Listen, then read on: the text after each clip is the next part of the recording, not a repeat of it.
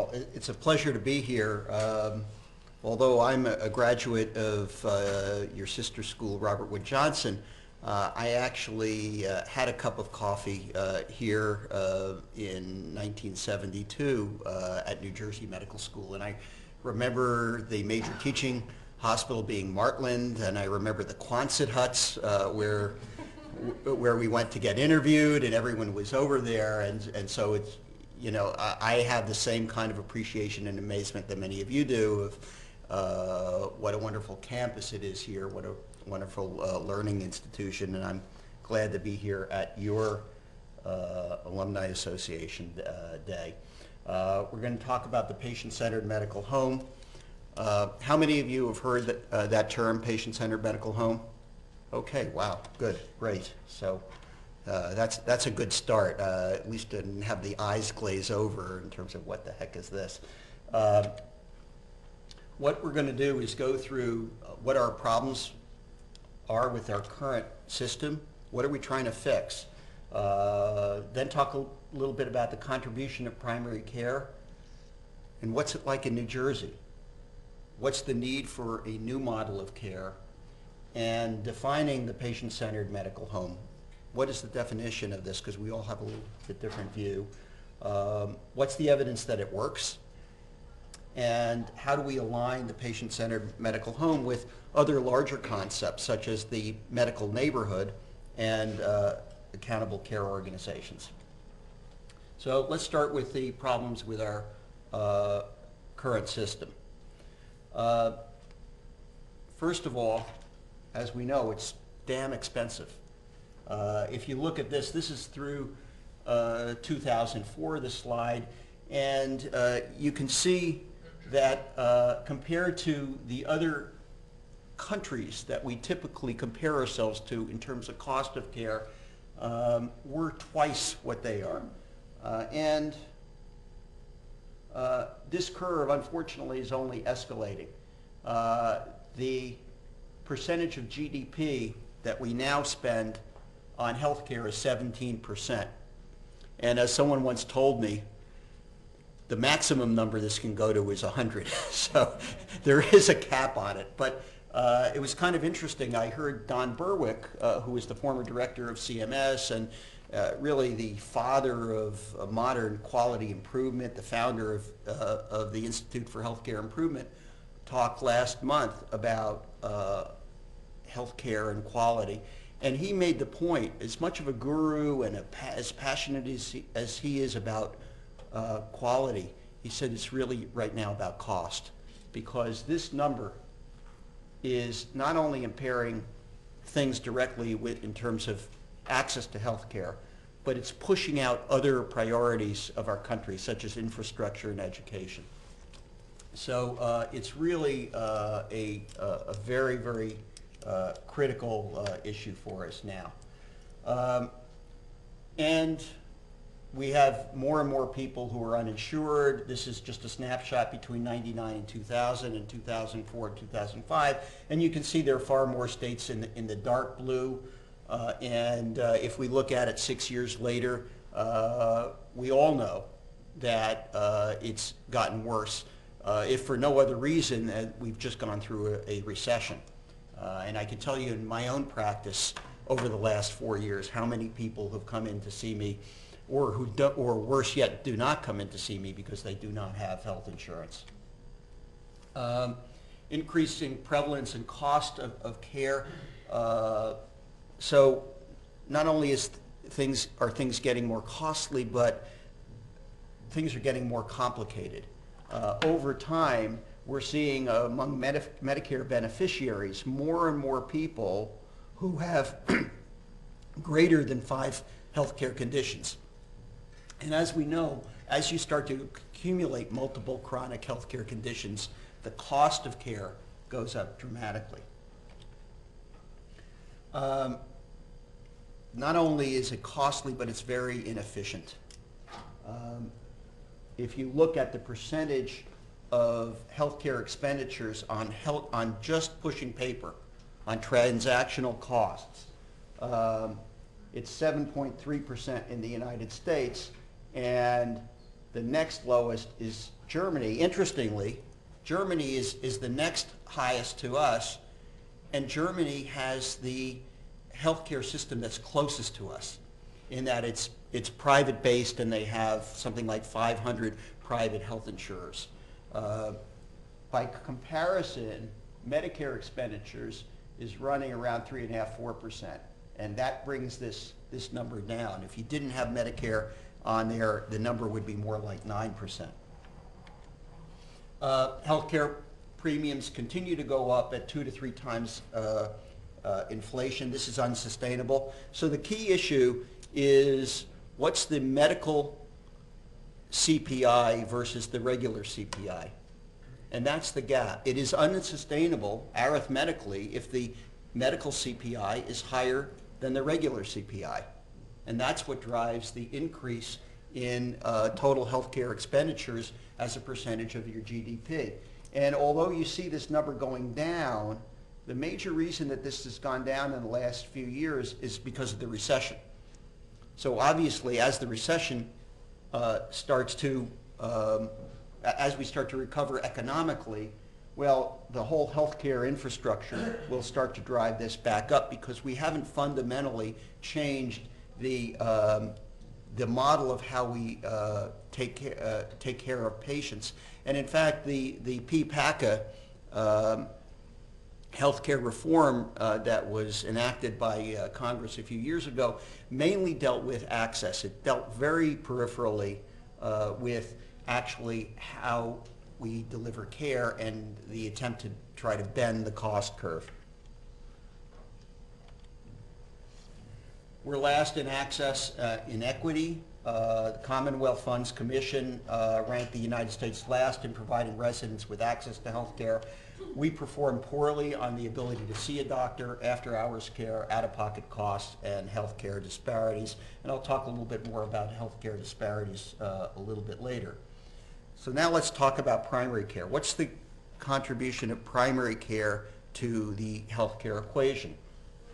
Well, if we look at countries that have low percentage of primary care, those are the ones in red, and we look at the countries that have high percentage of primary care uh, as a por- portion of their whole uh, total healthcare delivery system, we can see that uh, every year from uh, 1970 through when this was uh, uh, the last time it was measured by Barbara Starfield uh, in around the year 2000, that very consistently there's higher premature mortality in countries that did not have a good primary care infrastructure.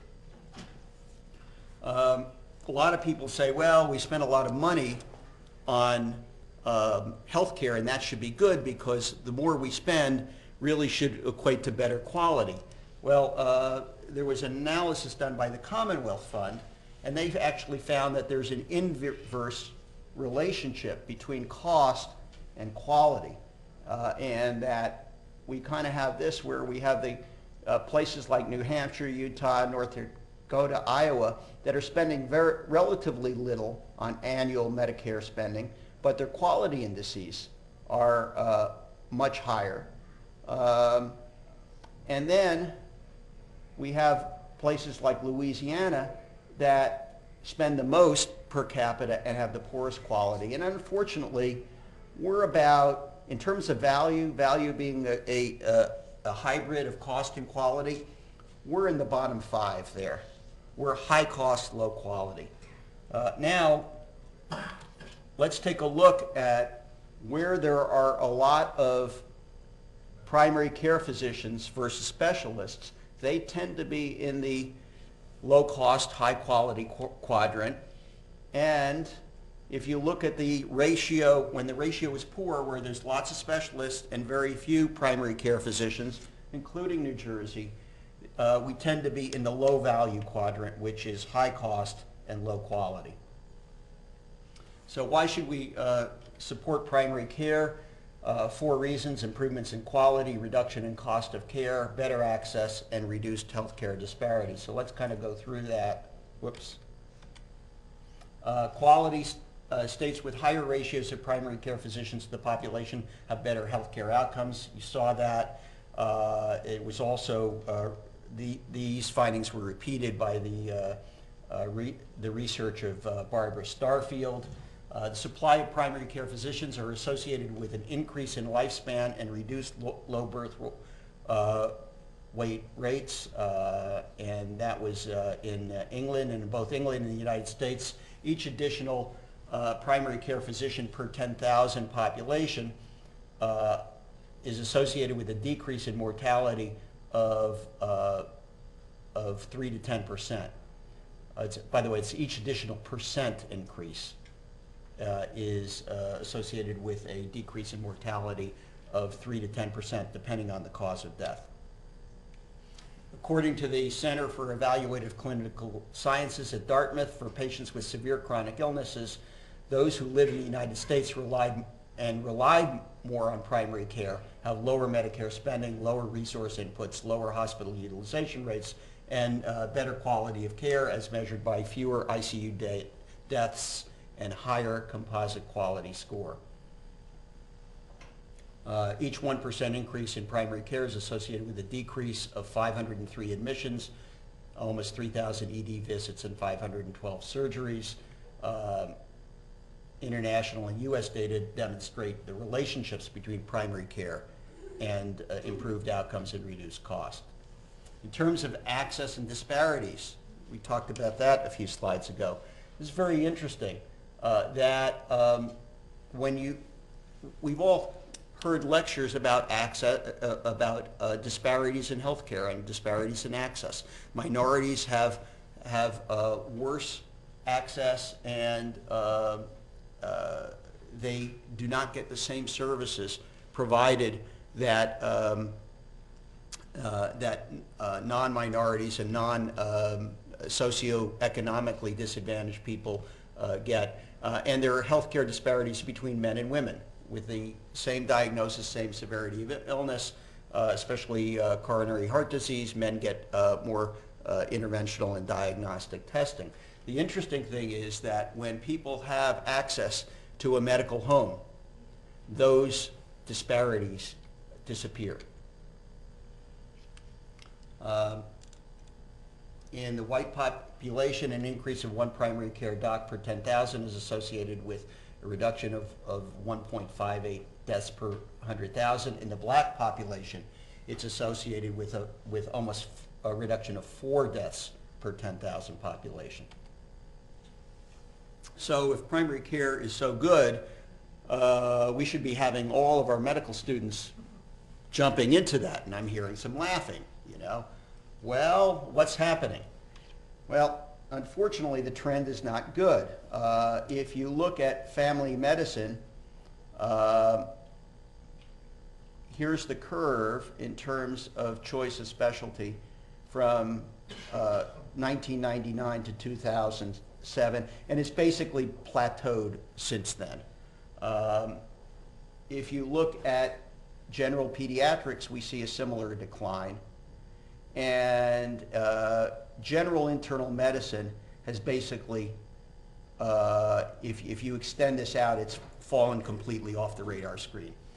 In fact, at this point in time, general internal medicine as a career choice to, to fill the, the supply for primary care is a non-factor. Uh, and I'll talk a little bit more about that. So ha- what's happening to all the people who are um, going into internal medicine residencies? Well, they're going into subspecialties, uh, and we're now starting to see a, a sharp increase of that uh, with with pediatricians. So let's take a look at New Jersey. How's New Jersey doing? Well, not well. Um, we rank either first or 50th uh, in almost everything, and whether, uh, when we're ranking first in a, in a category, that's bad, and when we're ranking 50th, that's also bad. So if, if we take a look at inpatient uh, Part B spending per decedent, uh, during the last two years of life, we have the number one um, highest cost uh, of any state in the union. Now, the interesting thing about this is this is a wonderful outcome study because at the end, all of the people in the study have exactly the same outcome. They all died, all right? It just takes you a heck of a lot more money to die if you live in New Jersey than anywhere else.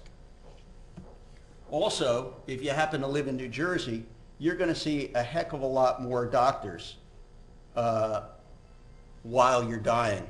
Uh, this is the number of physician visits per decedent in the last six months of life, and we have 41.5 uh, visits, and you can take, you know, whatever, uh, uh, you know, uh, other place you want to compare it with. Vermont is 19 visits. So we're seeing a lot more doctors, uh, but we're getting exactly the same outcome. Uh, Here we're number 50th, uh, and that is uh, variation by state in ratio of primary care to specialist labor input. So uh, actually, we're not the worst because we have DC in here as 0.69, but of course, that's not a state. So that doesn't give us a whole lot of comfort that we're not worst there, but we have the highest ratio of specialist to primary care, or if you want, the lowest ratio of primary care to specialist. One way we're ranked 50th, the other way we're ranked first. Uh, The need for a new model of care. Uh, Jack Colwill did a study a few years ago and found that uh, by the year 2025, we're going to need about 44,000 adult care generalists that we do not currently have. Um, And in New Jersey, it's even worse. New Jersey ha- actually has the uh, highest percentage of family doctors in the country whose age are, is over 60. And unfortunately, I'm one of the people who contribute to that number. Um, So at some point, sooner rather than later, I'm actually going to be, rather than on the delivery side, uh, I'm going to be on the uh, demand for services side. Uh, Will a new model of healthcare delivery affect projections of physician and uh, other healthcare provider shortages? That's really the, the, uh, the question. And what are the implications if universal coverage uh, occurs? Uh, We know that in Massachusetts, uh, when they enacted universal uh, coverage, the first crisis they had was access because there were not enough primary care uh, practitioners to take care of them gaps in care coordination, primary care and specialists. Um, Kind of interesting, there no, in- there was no information sent to pediatric uh, specialists 49% of the time, no feedback to primary care 55% of the time. Uh, Dissatisfaction uh, with the quality of referrals back and forth on both sides of the equation uh, is high. Uh, The emergency department, 30% of adults indicated uh, that their regular physician was not informed about the visit. Uh, For the hospital, 33% of adults with chronic conditions did not have a follow-up plans post-hospital discharge. Uh, We're starting to get the message on that, and there, in a a lot of health systems, uh, there's a lot of more emphasis on uh, doing better transitions of care, but this is ideally one of the things that um, the patient-centered medical home is best set up to take care of. Uh, Patients with a medical home actually reported better coordination between their regular provider and their specialist. Um, And as you can see, the blue is the medical home, the white is the, uh, the regular source of care, and you can see in all of these uh, facets of uh, coordination of care, there was fairly significant improvement here. Not, it's not 100%, it's not perfect, there's a lot of work to do, but the gap was pretty significant, saying that there's better coordination of care when we have a patient-centered medical home. So um, there are a lot of definitions of patient-centered medical home. Uh, National uh, Committee on Quality Assurance has a definition. Uh, The, uh, uh, there's a joint uh, definition that was created by the American Osteopathic Association, the American Academy of Pediatrics, the American College of Physicians, and the American Academy of Family Physicians. Uh, But I decided that I was going to make my own uh, definition. Um, and uh, I'll go over that. But before I do, let's just talk about traditional care versus um, the new model. So in the traditional care, my patients are those who make appointments with me. So all I'm really focused on in the traditional model is who's coming in today. That's what I'm responsible for. In the new model, our patients are those who are registered with our medical homes. So we're responsible for a population of patients, including people who um, maybe I haven't seen in a year or two years, but they are my responsibility, and I'm responsible for helping them get better health outcomes uh, than uh, they uh, currently have. Patients' chief symptoms are the reasons uh, for, uh, for the visit versus we systematically assess all our patients' healthcare needs. So the patient comes in with a splinter. In the old model, I take care of the splinter. In the new model, the patient comes in with a splinter, but the, the patient hasn't had a mammogram in four years, and uh, they're diabetic and they haven't had a flu shot. Uh, I need to take care of those things at the same time that I'm taking care of the splinter. So I'm taking care of the presenting symptom or the chief complaint, but I'm looking at the whole person. Care is determined by today's problem and time available versus care is provided by a proactive plan to meet the patient's needs, including without visits.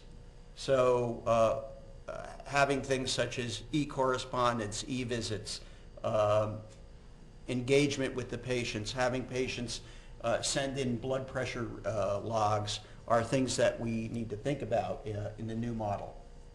Care varies by the schedule, time, and memory or skill of the doctor versus care is standardized according to evidence-based guidelines. Uh, and I told Robin uh, and Debbie uh, a little while ago that it was that I had a hiatus of 10 years where I actually wasn't treating any patients before I went back into private practice. And I realized that if I didn't do something dangerous, uh, if I didn't do something different, I could be dangerous. Uh, and I didn't want to to be in that position. So I surrounded myself with every quality improvement thing, every electronic reference library, every uh, medical alert that I could possibly do uh, so that I could pr provide quality care to my patients. Now, 10 years later, you know, the, the, the learning curve has gone up like this. My age has gone up like this, so my my internal RAM is, is not too high anymore, and sometimes, uh, you know, I get one of these things to try to do a control-alt-delete on my frontal lobe, and it doesn't work. You know, so I'm relying a lot more on external sources of information. The interesting thing is patients no longer expect me to know everything.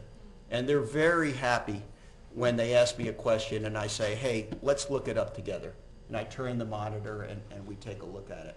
So you can go through uh, th these other things, but this is an example of the difference between today's care and, or the traditional care and where we really want to be going with the patient-centered medical home.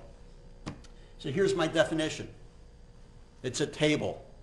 The table has four legs, a tabletop that ties it together, and a base or a platform that it sits on. So let's go through uh, the four legs, the tabletop, and the platform. So the first leg is enhanced access. What does enhanced access mean? It means patients get seen when they want, where they want, by whom they want. Use of data and technology, we talked a little bit about that, and I'll give you some, uh, some examples uh, a little bit later. We'll go through each one of these facets, uh, including the tabletop and the base. Population-based care, talked about that. My patients are not just the patients who are coming in today, it's the entire population that I've been caring for for the last 25, uh, well, it, it, it, for, for me, it, it includes 3,500 patients.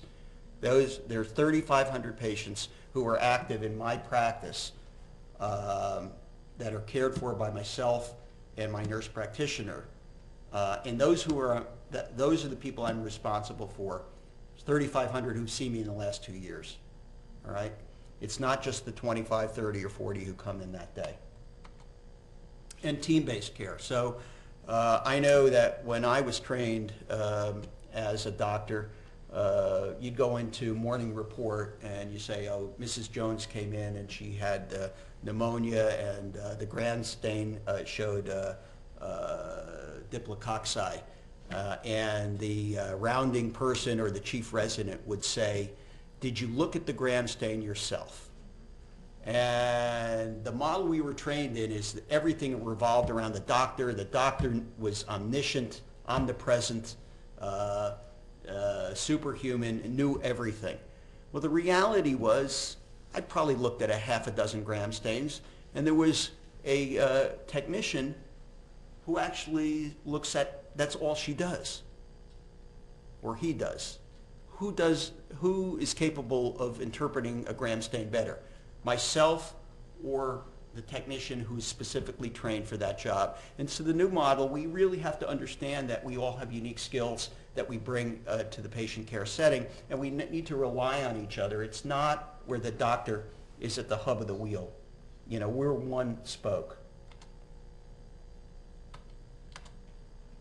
So what are the, what's the base, uh, the, the, the, the table platform that ties these four legs together? Well, the good thing is that's the enduring aspects of primary care that hasn't changed since I was a medical student. It's con- continuity of care, it's uh, comprehensive care, and it's having a therapeutic relationship with the patient. But it has to rest on a base, and the basis payment reform, because you can't do this uh, on the existing uh, hamster care uh, method of payment where we're, we're getting paid only on a fee-for-service basis. And uh, I'm running with my short legs faster and faster and faster and getting nowhere. In fact, uh, when I call my colleagues, they ask me, uh, are you on or off the hamster wheel right now? And, and that's the way we refer to you know, the current model or the traditional model. So let's go through each of these areas. Enhanced use of data and technology. So I did this slide about um, four or five years ago for the Institute for Healthcare Improvement. And this is my office. Uh, or actually, this was my office uh, five years ago. Now, in Robin's um, uh, introduction, you didn't hear, not hear anything about me having a, uh, a master's of medical informatics or a uh, degree in information technology. Uh, and I, am not uh, on the nerd scale terribly uh, proficient. You know, I've got an iPhone and an iPad, and that's about it. But this is pretty complicated, and it's actually gotten more complicated. Uh, but this is really what you have to have in terms of being able to, um, to uh, relate to your patients in a patient-centered medical home. The hub is the electronic health record. There's electronic scheduling. There's a patient portal that's integrated with the electronic health record so that the patient can see uh, their records uh, and uh, uh, what services they need. There's secure email so that they can interact directly uh, with you. That can be also integrated with your patient uh, portal. Uh, obviously, the traditional things of electronic claims processings. There's uh, electronic kiosks that uh, interact directly with your electronic health record so patients can register uh, with you and add personal health information and it goes directly into the record e-prescribing, interactive websites, uh, e-visits, uh, interfaces with labs and hospitals, uh, et cetera. So it, it, can get pretty hairy. Uh, and the interesting thing is, you know, you can't take a box, you know, that comes from Dell, open it up and plug it in and have this.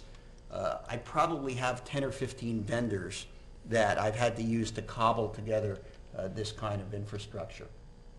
So let's talk about a, a few of these features. A patient portal can uh, provide accessible medical records. Patients can view their medication list and refill requests. They can view their problem lists.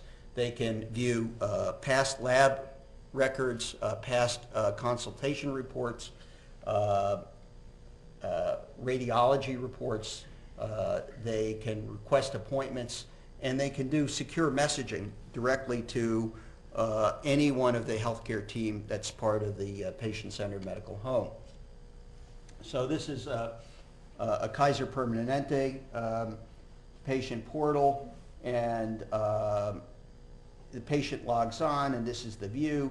They can see who they saw, when they saw it, and then they can click on here and drill down and see the details of, of what was done. Uh, They can also get access to an electronic reference uh, library.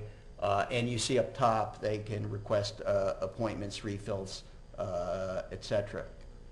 Um, This is a patient recommendation report that I use. Uh, This actually gets printed uh, of- uh, as a piece of paper. It's not a- a portal.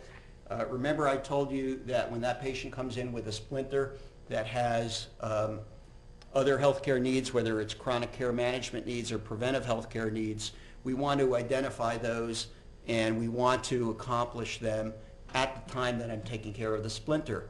Well, the way we do it in our practice is that this report gets uh, printed out and these action items here are all of those issues. The perform a hemoglobin A1C, document a pap smear, uh, document advanced directive status, uh, order a mammogram, uh, order a lipid panel.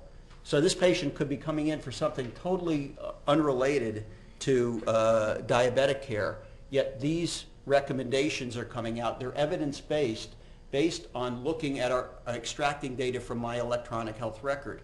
Now, my medical assistant gets this piece of paper every morning, and so she executes these orders as standing orders for me based on evidence-based guidelines. She does not have to inter, to uh, uh, interact with me and say, Dr. Eidus, is it okay if I give this diabetic patient a flu shot? It's already written there.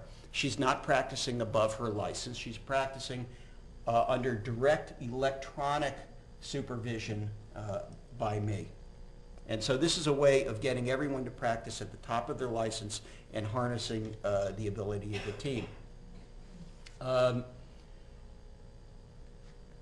Here's another uh, uh, electronic message. This goes directly from the practice uh, to the patient. Uh, And, uh, you know, we like these uh, red, yellow, green um, um, color coordinated um, flags for patients. And uh, the patient then gets this automatically that tells them what services they're overdue for. Again, this comes uh, from, uh, uh, from Kaiser Permanente. So on a regular basis, uh, the patients will be getting notification on uh, overdue chronic care management services and overdue uh, preventive services. Let's take a look at the next uh, leg, which is enhanced access. Uh, Patients can easily make appointments and select the day and time. Waiting times are short. Email and telephone consults are offered. So access does not mean that the patient has to be physically present in the practice to get uh, healthcare services, and off-hour services available.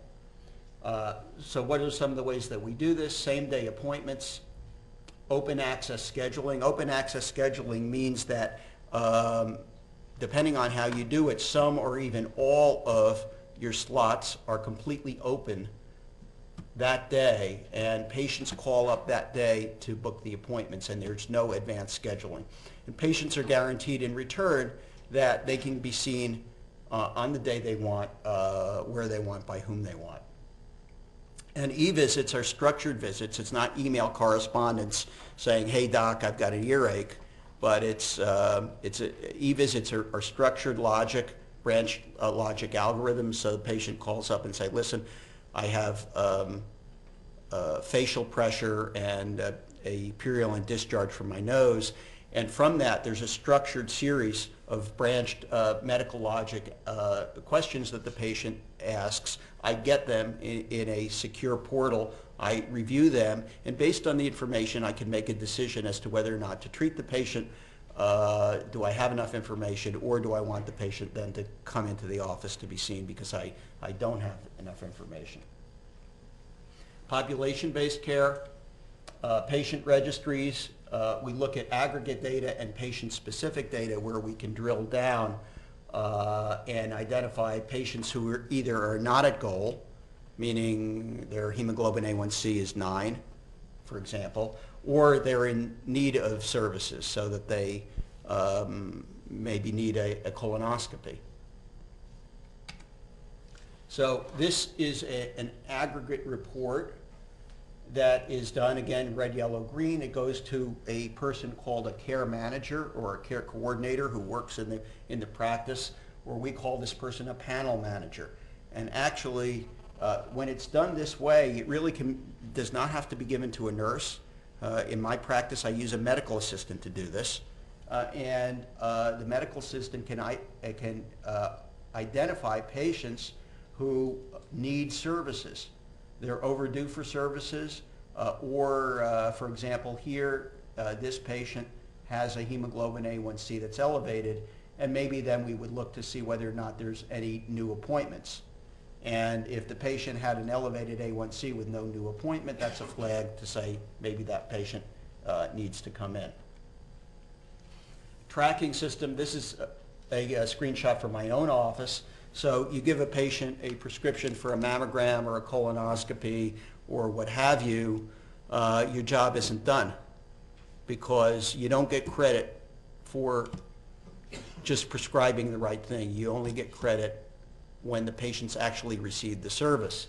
So in this situation, we have a report that can identify uh, that we ordered a colonoscopy on uh, January 22nd, 2009. Uh, patient hasn't yet gotten that service, but it's not yet gotten to the 90-day window where it automatically goes into the overdue uh, situation. And so again, this is something that your medical assistant can look at and identify patients who are overdue for services that you've done. Uh, the abnormal pap smear, uh, the patient that you gave a prescription for a mammogram uh, and they never went. Uh, the patient who was advised to go for the colonoscopy and never went. And this is the way, by systematically looking at populations, we can drive improved uh, performance in terms of preventive care and improving uh, care of patients with chronic illness.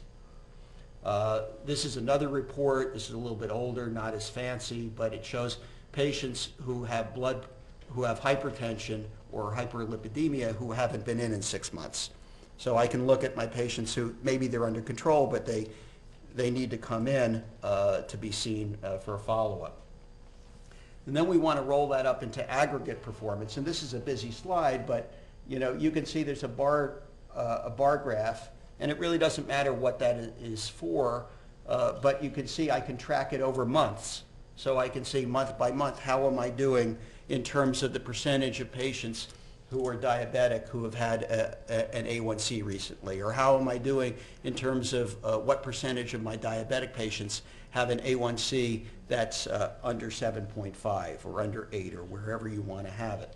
So I can see, is the trend going in the right direction or is the trend going in the wrong direction? Patient engagement and care, patient have, has the option of being in, informed and engaged partners in their care.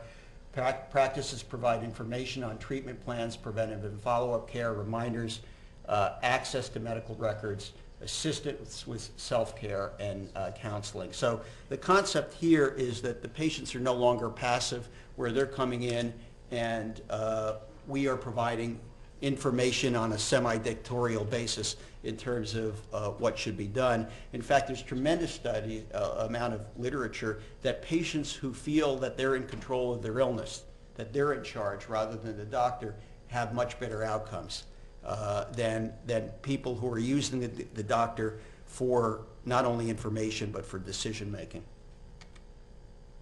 There are a number of ways we can engage patients. Uh, a few of them I'll talk about. Uh, team huddles. Uh, so in the morning, we, we get together, our nurse, our medical assistant, uh, and uh, myself, and we go through who's coming in that day and what are the services that, that they need so we can systematically plan that. We talked about the patient registry. Motivational interviewing is a new technique done now to help people with lifestyle motivations uh, to assist them in, um, in taking charge of, of their own behavioral issues and, and lifestyle uh, challenges. So it's not, doc, give me a, a, a diet because I have to lose weight. Uh, it's a very different conversation now that we have. Team-based care is the fourth leg. Um, we have some definitions of what a team is. I think they're all familiar with to you. the interesting thing to me is how different a practice is that really has a true team versus the traditional model that I was trained on uh, as a resident. Uh, so uh, you can see you have the, the physician uh, that's surrounded by the practice team and the patient that's surrounded by uh, the community and the family. And the practice team can include a nurse practitioner, a PA, uh, nurse, medical assistant, uh, office staff, uh, nutrition educators, et cetera, et cetera. In my own practice, which up until recently was a solo practice, I had a family nurse practitioner, or I have a family nurse practitioner. I have uh, two medical assistants, one who functions as a panel manager, which I talked about. We have a care coordinator who also functions as a health coach. Uh, we just recently hired a psychiatric nurse practitioner. Uh, and then we have liaison and outreach into the community uh, as well. So that's an example of creating a medical team. There's no one prescription for exactly how you do it. Uh, it's based on what your needs are, what you can afford, uh, and what the resources are that are available. What, what did I do? I did something very bad here. There we go. I won't do that again. Um, the enduring aspects of primary care, continuity, longitudinal relationships, and comprehensive care. Let's go through them. Uh, continuity means that uh, if I'm in a group of 10 providers and patients see us, do they see a new provider every time? Or do they see the same provider every time? You know, that's uh, an issue of continuity. Fragmentation of care gives worse outcomes. Also, uh, if a patient uh, is homebound, or if a patient's in a nursing home, or if a person is uh, in a hospital, uh, in various settings, am I involved in that care or am I not involved in that care? Longitudinal relationship uh, talks about how long have we known each other. And I think all of us know it's way, way, way easier to take care of a patient that you've known for 10, 15, 20 years. You walk in and you're really relaxed. And you have a conversation. And you have a trusting relationship. Uh, as opposed to the new patient. Hi, I'm Dr. Eidus. Welcome to our practice. How are you referred here? Boy, you know, there's a lot of work to be done between that initial engagement and to the point where you really have a longitudinal therapeutic relationship. And comprehensive care uh, deals with the scope of services that I can actually provide to that uh, patient. Um, across adults across countries place high value on having accessible personal and coordinated care. Uh, the question was, when you need care, how important is it that you have one practice or clinic where doctors and nurses know you provide and coordinate care that you need. And you see it's very high. I did a survey in my own practice, and uh, at the end of the survey, we asked, well, what do you like about this practice? And what's really important? And there were only three things. One was good access. The patients wanted to be seen when they needed to be seen. The second was, said, it's important that Dr. Eidus takes time and listens to me. And the third thing was, it's important, we value in your practice that you have a care team that's friendly and knows me. You know, it's kind of like the old uh, Cheers, uh, you know, uh, um, thing. Yeah, right. Um, and, and that's what they want, whether it's the neighborhood bar or the family doctor's office. They want a, a care team that knows them, you know. Uh, payment reform. Uh, so that's the, the base. We've talked about the, the four legs. We've talked about the tabletop. Let's talk about the base. Um, for every 4.7 hours that is spent in direct face-to-face patient care, uh, in this survey that was done um, uh, with um, 11 full-time family physicians from eight practices in 2003, for every 4.7 hours that they were spending in direct patient care, they were spending another 3.9 hours doing clinical stuff, but not where the patient was in the room. Why is that important? Because in the current model, that's not reimbursable. All right? So almost 50% of our time is spent in non-reimbursable activities uh, in primary care. Uh, 41% of primary care services are not reimbursed by procedure-based fee-for-service methodology. And then payment for procedure-based uh, care, when you do it, is often three times greater than uh, for uh, payment for primary care. So I'll get, if a patient comes in and they have earwax and I wash their ears out, which uh, if you're in medical education, you know, that's not a terribly complicated thing to teach someone how to do. Uh, versus counseling a depressed patient for 15 or 20 minutes, I'll actually get paid 1.5 times uh, uh, what I do for counseling a patient for, for washing out someone's ears. Uh, Median income of primary care physicians is approximately half that of specialists. So we didn't talk about that, you know, what's, what are the issues that are driving people into spe, uh, into subspecialty care and away from primary care? It's really lifestyle and, and money. So we need to have a new payment model. Uh, The new payment model needs to have fee-for-service, uh, certainly still on there, perhaps with some special add-on codes for things such as uh, telephonic counseling or service after hours. Then there needs to be a prospective payment for care coordination. So all the things I talked about with panel managers and care coordinators, we need to have a payment that's prospective, not for the 25 patients that are seen that day, but for the 3,500 patients that I'm responsible for. And finally, to the extent that I'm uh, capable of increasing value by increasing quality or bending the cost curve, uh, we need to get some type of reward in terms of pay for performance or shared savings. What's the evidence that PCMH works? Uh, Community Care of North Carolina, 17% decrease in emergency uh, department visits uh, by Medicaid patients under the age of 21, and over 250 million in annualized savings on the Medicaid population using this model. Geisinger developed a, a network-wide electronic health record. They put uh, embedded care coordinators in the practices, and they had a reduction in, in admission of 13% and a reduction of total cost of care of 8%.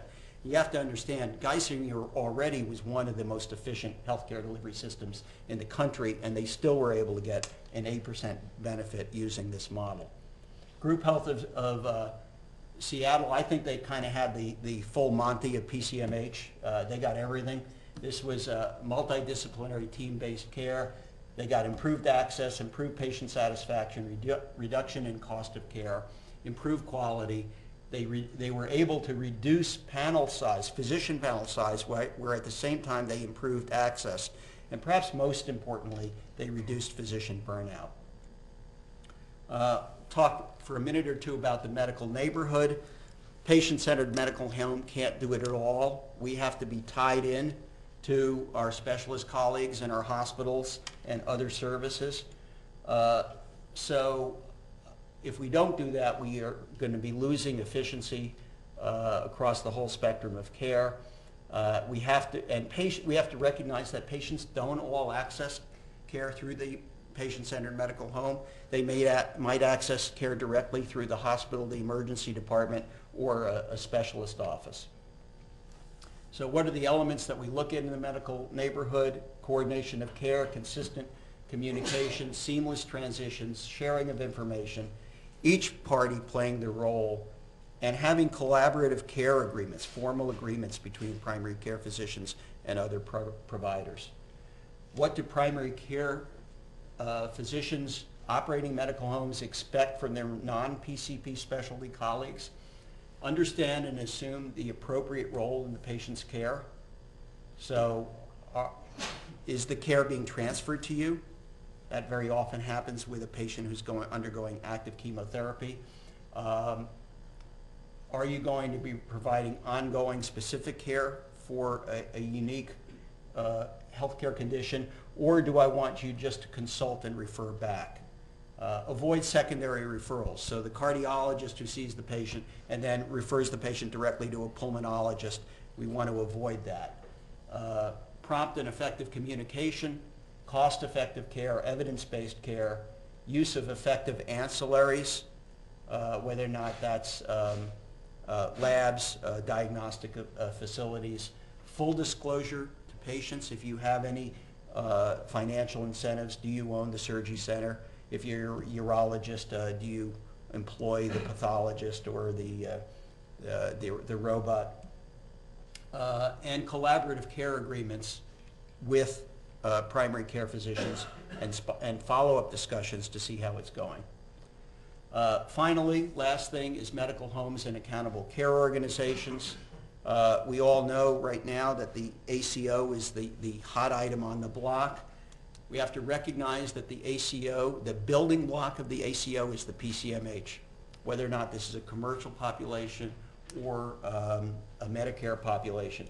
Uh, We're very fortunate uh, to uh, have recently been uh, awarded in New Jersey one of the seven regions in the country where we're going to have a pilot CMS dem- four-year demonstration using uh, the uh, PCMH and medical neighborhood um, uh, model. Uh, That's not exactly ACO, but it, it is, uh, it's a feather in our cap that we've, we've gotten that, and it really is a boost to the PCMH mo- movement in New Jersey. Um, In ACOs, PCPs can only participate in one ACO because they have to attribute our patients to one accountable care organization. They can't split them up, saying some of them are in one and some are in another. Uh, More importantly, medical homes are viewed as the foundation and essential building block of ACOs. So to summarize, despite the Affordable Care Act, healthcare quality in the United States remains dysfunctional with problems of cost, quality, and access. A strong primary care infrastructure has been shown in the United States and worldwide to be uh, essential in addressing these issues as well as improving healthcare disparities. There's a strong need in the U.S. not only to re- reinforce the primary care infrastructure, but to be, to establish a new model of primary care that's team-based and patient-centered. The patient-centered medical home has been shown to consistently improve access, improve quality, and lower cost across a wide spectrum of populations, including the medically uninsured indigent, Medicaid, Medicare, and commercial populations. Physicians working in medical home will be reaching out to colleagues in other specialties and hospitals to create medical neighborhoods, and the medical uh, home is an essential building block of the accountable care organization. So at this point, uh, I will stop. It's uh, been a pleasure to uh, be with you on your uh, alumni uh, reunion day, and I'll be glad to uh, take a few questions if anyone has them. Yep. Is the ACO part of the healthcare, is the ACO part of the healthcare reform bill, or is it independent bill? Um, That's a good question. Uh, It is tied to the healthcare reform bill. Uh, It's probably, if the Supreme Court um, uh, overturns the, the uh, P-PACA, most likely, this would be one of the elements that would be enduring, because it's, it's an area that does have bipartisan support, because it's, uh, A, it's, it's marketplace solution, uh, it's not a governmental solution, and B, it's